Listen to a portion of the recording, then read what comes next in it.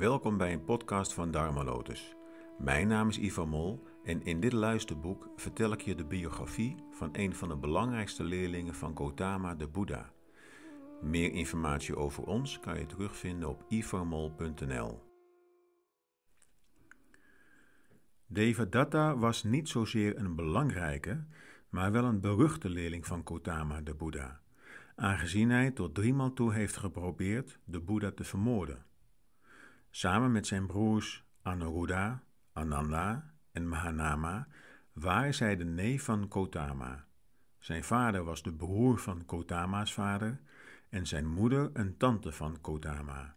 En zijn zus was Kotama's ex-vrouw. Hij en zijn broers en Kotama woonden voorheen allemaal in Kapilavastu, dat is gelegen in het zuiden van Nepal. Ze zaten bij elkaar op school en speelden vaak met elkaar in hun vrije tijd. Het waren jeugdvrienden. De Pali Canon verhaalt veel over deze periode en Gautama de Boeddha haalt het ook vaak voor in zijn parabelen, in zijn verhalen, voornamelijk naar kinderen toe. Devadatta en Gautama lagen elkaar als kind niet erg. Als prinsen en adel werden zij opgeleid om later ratjas te worden, of andere belangrijke functies in het landbestuur te bekleden. Onderwijs, sport, krijgs- en vechtkunst besloeg hun dagelijkse training. Devadatta was sterk gebouwd en was zeer competitief. Gautama was ranker, maar had een natuurtalent overal goed in te zijn. Dat Gautama slimmer, handiger en vaardiger was, dat stak Devadatta. Als kind schoot Devadatta eens een zwaan uit de lucht tijdens het jagen.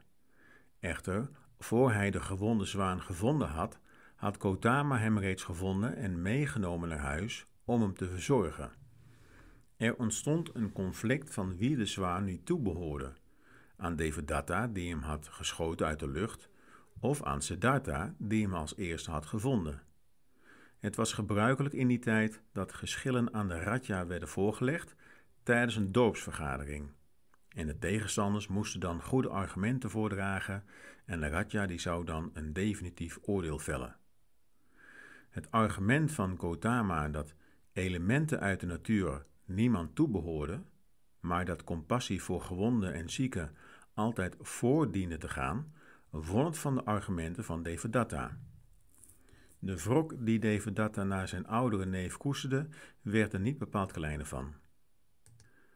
Gautama vertrok uit Kapilavastu op zijn 29ste om monnik te worden.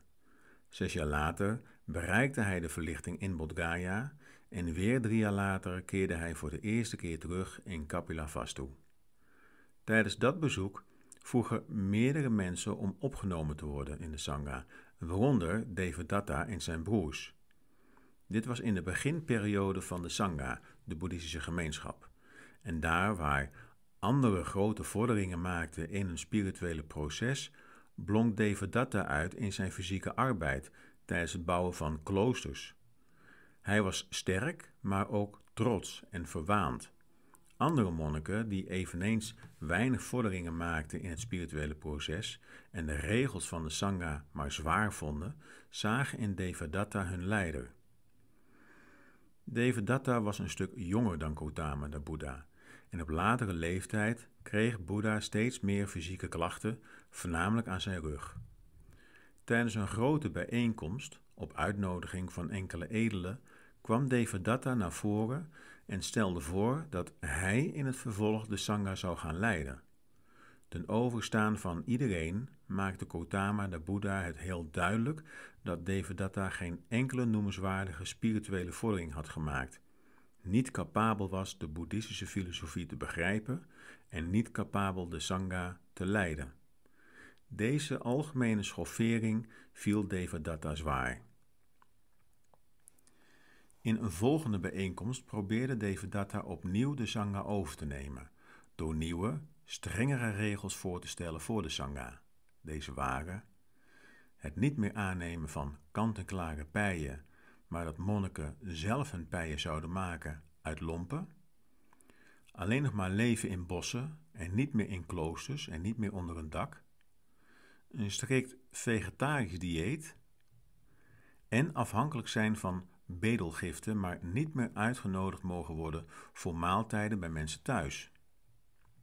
Dit waren voorstellen waar een groot deel van de Sangha het mee eens was, maar Gautama de Boeddha wilde het niet als een vaste regel opnemen, hoewel hij er geen moeite mee had als monniken zo wilden gaan leven.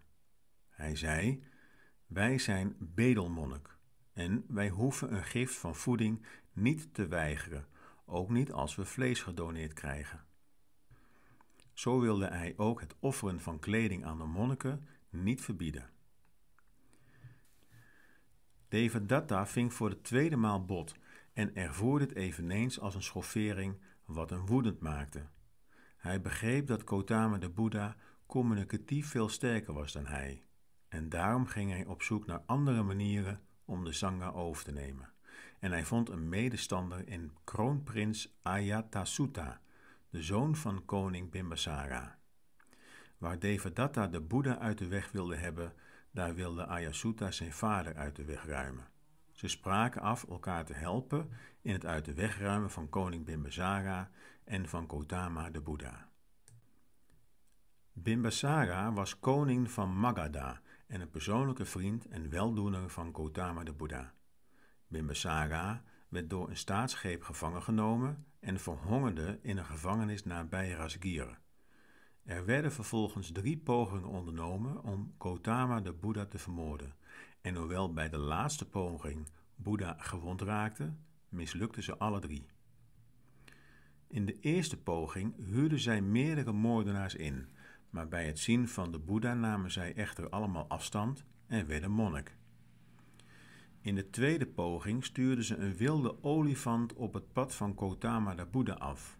De olifant werd echter door Kotama de Boeddha getemd. In een derde poging veroorzaakte Devadatta een lawine op het pad naar de Gierenpiek.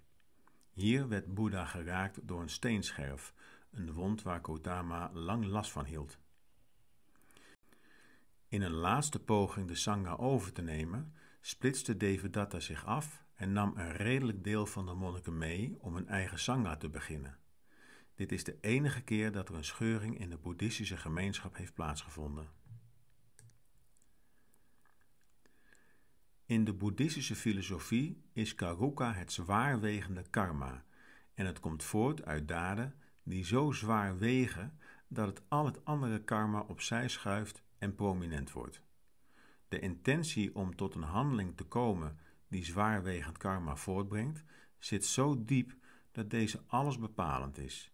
Het wordt dan ook wel wedergeboorte veroorzakend karma genoemd. In de Pali Canon worden vijf van deze zwaarwegende karma's genoemd als zijnde afschuwelijke misdaden. Het zijn vadermoord, moedermoord, het vermoorden van een verlicht persoon, het verwonden van een boeddha, het kwaadwillig veroorzaken van een scheuring in de sangha.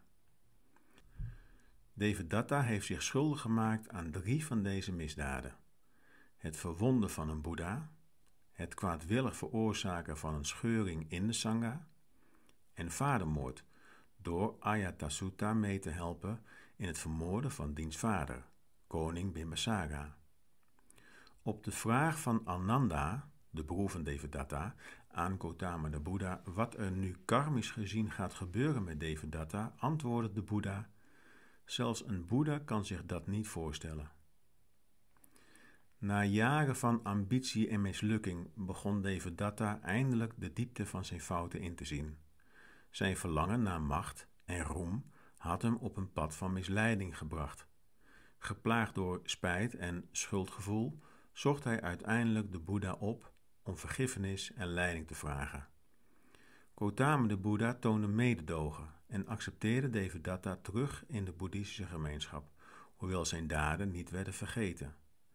Devadatta begon een bad van boetedoening en introspectie, waarbij hij de essentiële leringen van het boeddhisme omarmde: onthechting, mededogen en het begrip van lijden. Devadatta's leven is een complex verhaal van ambitie, verlies en uiteindelijk inzicht.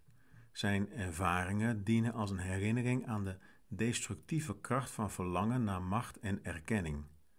Tegelijkertijd laat zijn verhaal zien dat zelfs in de donkerste momenten de mogelijkheid van inkeer en transformatie aanwezig is.